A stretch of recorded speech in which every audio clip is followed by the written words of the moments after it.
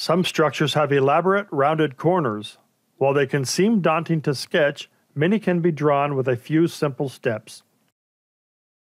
In this example, the turret contains its own room.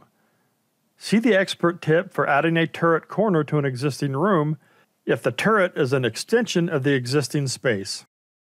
First, determine the diameter of the round room and use that dimension to sketch a square room for the turret corner. In this example, it's 10 feet. Next, select the bottom wall of the new room and open its properties. Change the arced wall property to Yes. Then close the properties window. Then drag the handle on the wall and enter in the 5 foot radius, half of the 10 foot diameter. Next, grab the handle on the opposite wall and bring it as close to the arc as possible. While the 2 inch gap means that it won't be a perfect circle, it will give us a flat edge to connect the circular turret to the adjacent room. Next, arc the opposite wall with the same distance as the first.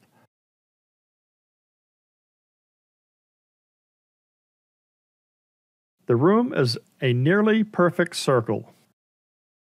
In order to have the turret in the corner of an adjacent room, you will need to rotate it so that the flat 2 inch section is at a 45 degree angle. Select the room and click the red diamond handle. While the mouse is clicked, tap the Tab key to rotate the turret 45 degrees.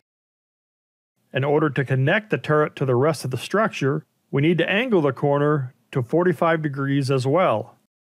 Add a vertex to the side, then drag the corner until the angle of the corner is at 45 degrees. Now the turret can be moved and attached. The 2 inch gap and angled wall should connect.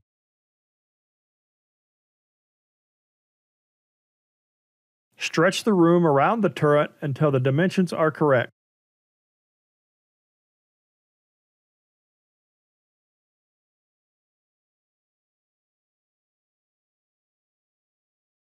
Now that the straight walls are in place, use the missing wall tool to remove unwanted walls, subgroup rooms together, hide labels, and change any other properties. Click and drag around the rooms, then use the red room handle to drag and drop them into the rest of the sketch. Adding a turret corner to your sketch can be quick and accurate. Give it a try. Fill out the survey below to let us know if there's anything you'd like to learn more about. And be sure to like this video and subscribe to our channel for more expert tips each week. Visit xactware.com forward slash training for additional training on Xactware products.